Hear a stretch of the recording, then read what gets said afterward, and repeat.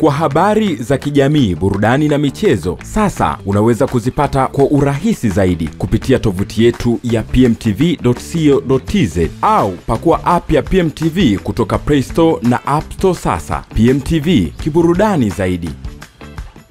Naam, tupo na Godi Yanga ikiwa zoezi zima la sherehe za ubingwa sasa hivi wanajiandaa nalo. Wanaanzia wapi na malizia wapi? Tunaenda kumsikiliza sasa hivi. Lakini nikukumbushe kwamba bado tupo na PMBet ambao wanakuambia endelea kuwa mwanafamilia wa PMBet maana mazuri zaidi yanaendelea huko. Eh, bashiri kupitia pmbet.co.tz. Huko ni ujanja zaidi. Godi, uko poa ndugu yangu? Niko poa sana, yani ukiniangalia unaona kabisa kuna tabasamu kubwa ambalo mimi ninalo. Tabasamu kubwa ambalo limetawala katika nyuso yako.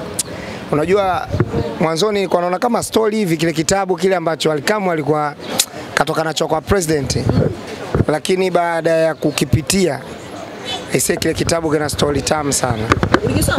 Yes, nimepata mawili matatu namna ambavyo siku ya Jumamosi ya tarehe 25 ambayo ni kesho kuanzia asubuhi mpaka sherehe zitakapotamatika, aisee, wananchi watakuwa na raha nyingi mno, yaani sio mchezo. Kama kuna mwana Yanga basi atakosa Benjamin Mkapa.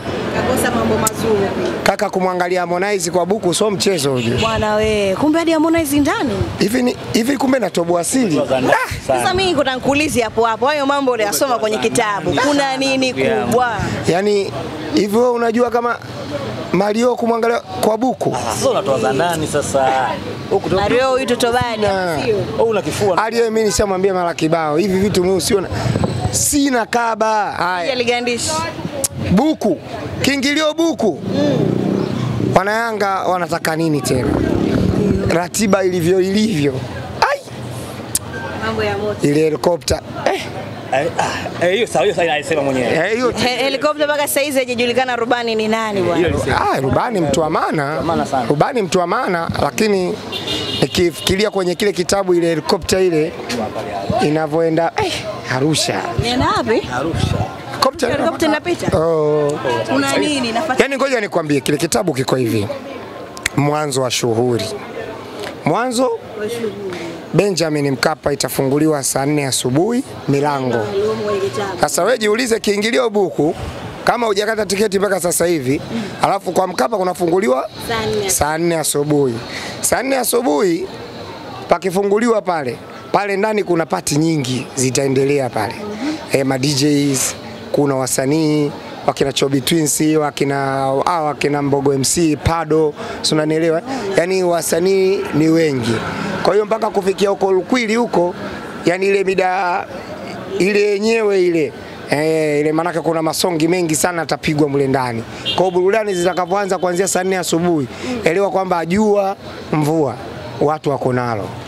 Mpaka kufikia muda wa game tunapokaribia karibia na football kwanza, litapita dege hii maeneo yote ya Dar es Salaam, lile dege lile. Linabeba kombe linabeba beba kombe.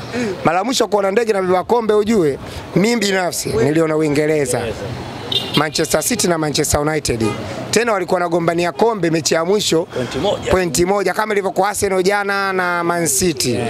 Umeona ilivyokuwa vile, basi ndio ilikuwa hivyo hivyo. Kwa hiyo kombe likatua Etihad, ndivyo ambavyo sisi tutaletewa lile kombe Dar es Salaam nzima, lakini kwa sababu madunduka amekimbia hapa na tulikuwa tunagombea nayo kombe na yakatangaza atakuwa mabingwa, na kuna madunduka mengine kama kina Kisugu suki na nani walitangaza kwamba wao wataacha mpira kuushabikia kwa sababu tu watakuwa wao sio mabingwa. Au Yanga akiwa bingwa wao wataacha kushabikia mpira. Lile kombe litapita kwenye maeneo yao, na kwa sababu amekimbia, amekimbilia Arusha, anajifanya wako bize na Arusha, dege litapaa kutoka Dar es Salaam litaenda mpaka Arusha, litaingia Shemli Abedi pale wakiwa wanaendelea na mpira wao, litaenda pale, litashangiliwa na madunduka yatakuwa kwa pale, lazima yaone baada ya kut... Walione linavyopita. yes. Maana wapo Arusha sasa hivi nao wana minyana huko. lazima lipite viunga vyote na RC Makonda ame, ame, ame, ame, ame, ameongeza, ameongeza ulinzi yaani lile kombe litakapopita hadi wadudu wanatakiwa kuliheshimu, yani wadudu wale wa Wasumbufu wa Arusha. e, yani wale unawajua kabisa, wanasema hawa kingunge ngombali mwiru wabishi. Sasa wale wadudu wa Arusha wale wanaojifanya wabishi wale tabidi wenyewe walipeli ile heshima lile kombe, alafu litoke Arusha lirudi Dar es Salaam litukute tunaendelea na mechi. Baada ya mechi kumalizika, dege litue chini, yani kombe likabidhiwe tokewa na dege.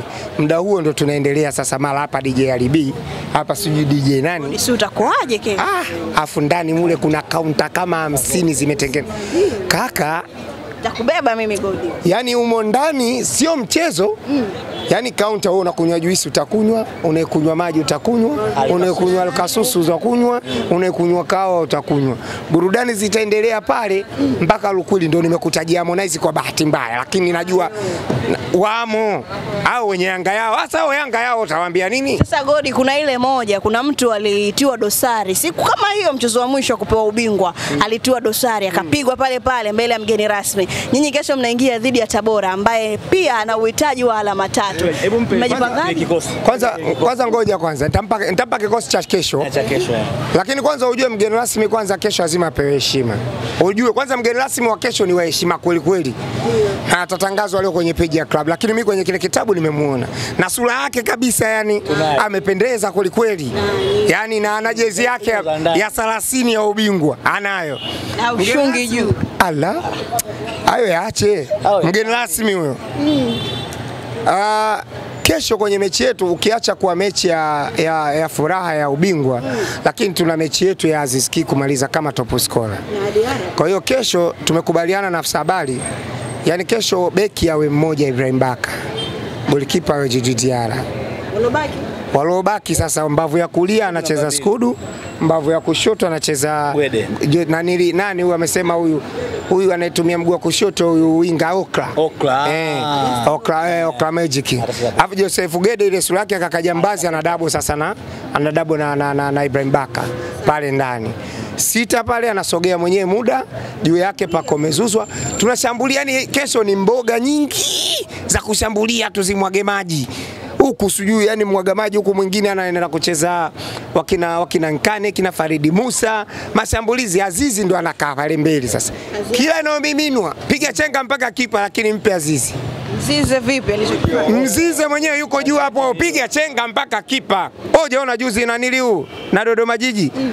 yani ile mzinze ile ingekuwapo ndo mwaka jana bado hajakomaa komaa vizuri pale, angetaka kupiga mwenyewe, lakini kashaiva kakomaa, kapata maelekezo, finya, maliza, weka pale Kazima kelele mzo. wewe zima, shughuli imeisha. Mm. Sasa hivi unazungumzia mechi iliyobaki ni ya Aziz Ki ambaye tunahitaji sisi wana Yanga amalize kama top scorer wa goli nyingi zaidi, lakini amalize kama MVP wa ligi yetu. Kwa hiyo kesho tegemea kwamba mgeni rasmi atapata burudani na wanayanga, ili pati liende vizuri, lazima mtu aliwe kweli.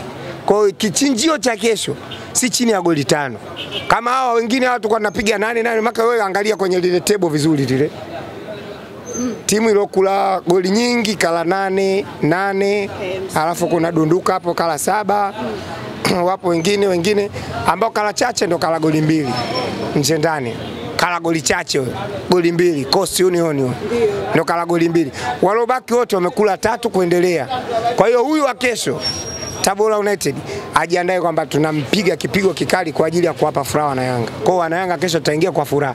Sasa mechi kisha si tunapiga mpaka saa tano asubuhi saa tano Kesha ba. kwenye kitabu hiyo. Siri unibia tena. Asubuhi ikifika pale kuna ng'ombe wako ng'ombe si chini ya ng'ombe ishirini. Ah, kwenye sheria ya ng'ombe, ng'ombe mmoja analiwa na watu si chini ya watu elfu moja ng'ombe mmoja. Yani hapo unachanganya supu ya bichwa, uchanganye kongolo, sijui utumbo, alafu ndo uanze eh, mapupu, alafu ndo uanze minyama sasa, mara mkono, kuna paja bado hujagusa mbavu, kidali, sijui ng'ombe huyo Mmoja. ng'ombe wako ishirini. Yaani hapo watu wamekesha sasa, ndo unasikia wengine wanakwambia mimi na kama kaingova fulani vinabidi nipate supu. Una, supu iko hapo hapo, unagonga supu. Ukimaliza supu sasa, chuma inaanzia Mbagala, Chamazi la alizini hilo sasa, hilo ndo paredi. Kwani kule si kuna mtu alichukua mchezaji akajiona ndo anaweza akawa bingwa Kule kule mposindika minara yenu. kule kule tulikokuwa tunatoa minara tano tano kule paredi tunalianzia uwanja ule ule ule uwanja inabidi ufurahi kwa sababu ulikuwa unapata furaha kila weekend Yanga akiingia pale tano kuendelea tano kuendelea uwanja ule. Sasa tunaachaje kwenda kuushukuru ule uwanja? Kwa paredi litaanzia pale, hilo la mguu kwa mguu. Sasa njia tutakayopita kwenye kile kitabu inna lillahi msiba mzito hapo. Waloenda Arusha washarudi Jumapili. Arusha kuna baridi, si tumetoka juzi warudi bado. Sasa watatafuta chaka, lakini Jumapili tutakapokuwa tunatoka Mbagala kuitafuta Jangwani, kuna njia zitumiki sasa hivi, zimefungwa kwa sababu ya ujenzi, zitafunguliwa. kwa mamlaka ya TARURA. Nasikia kuna kituo sehemu mnaenda kukiweka masaa marefu zaidi. Eh, kuna wafanyabiashara wengi sana wa Kariakoo wameomba, wanataka kuliona kombe kwa utuo. Manake lile kombe ujue, kuna kuliona linaenda kwenye klabu afu linarudi baada ya kuwa bingwa mara moja, afu linaenda kwenye klabu linarudi baada ya kuwa bingwa mara mbili, ila likienda mara tatu alirudi tena. Kwa hiyo wale wafanyabiashara wa Kariakoo wale wakaomba wapate muda wa kukaa nalo hata lisali moja masaa mawili au masaa matatu, kwa sababu likisha kuja Jangwani halitatoka tena. Inawezekana NBC wakabadilisha kombe. Kwani wamesahau lile kombe la kwanza la NBC lilivyokuja Yanga halijarudi? Si alijabadilishwa lile? Wewe unaona kuna klabu ana sasa hata hili kwa sababu Yanga ndio bingwa mara tatu mfululizo, inawezekana lisiende tena kwenye njia ile. Wao wakasema tusimame hata masaa matatu. Sisi tumewahakikishia kwamba hilo kombe litapita hata mara miaka 30, maanake tuna mpango wa kulibeba kombe mfululizo miaka 30 kuendelea.